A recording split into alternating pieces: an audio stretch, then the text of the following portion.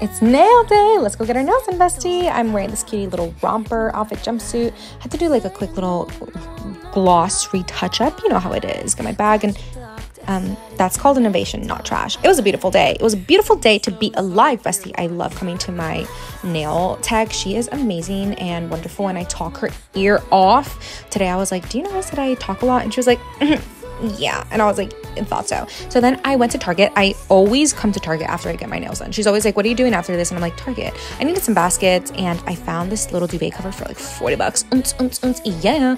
Definitely didn't need this pajama set, but I'm wearing it right now and it's comfy, cozy, great. Some coffee because doy. And then I left and I love you. Bye.